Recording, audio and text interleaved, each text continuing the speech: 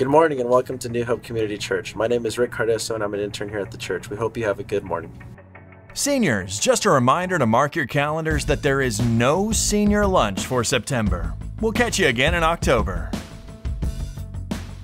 Tuesday night men's Bible study will return on September the 10th.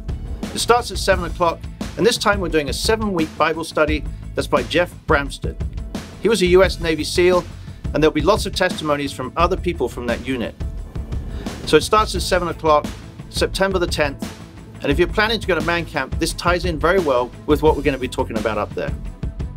September the 11th sees the beginning of our new jam session. That's for the kids, but also there's an adult study, and we'll be doing Radical by David Platt.